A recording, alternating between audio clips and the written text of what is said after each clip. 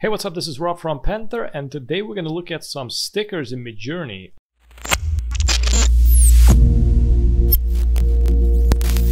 Now, I didn't knew that Midjourney can do stickers, but it seems like it does pretty good, so I'm going to show you how to do it. So the basic prompt would be something like vector logo sticker. So this is the easiest prompt and it just does really good results. As you can see, we got a donut here, a green donut. We got big juicy green donut, vector logo sticker. We got like Mario flexing with the same prompts, vector logo sticker. And then I also switched it up. We got like a sticker collection with retro badges, but this eventually didn't came out good because it's like really low in details. I think it needs a lot of specification, but I didn't experiment with this direction a lot. I also did with skull, green skull, micro, vector. Usually the cute prompt works really good if you try to do something funky. We got like cute green skull, micro, vector logo, sticker, urban style. I think there was like another one, a different prompt. Oh yeah, it was this one, skull, die cut sticker. You also can add to the die cut sticker, does the same thing eventually. Good, so let me select one of the stickers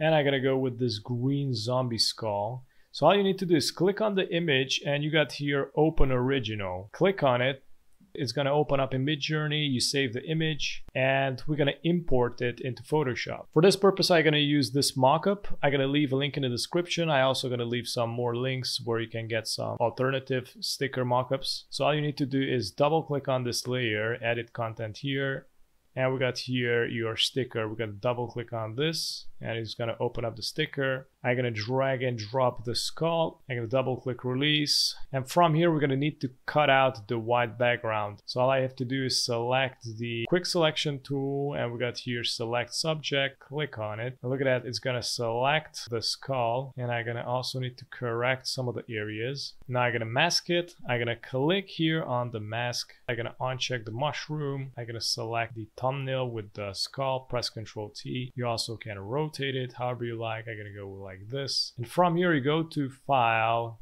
and click on Save. So this is going to save it in this tab right here on the mockup.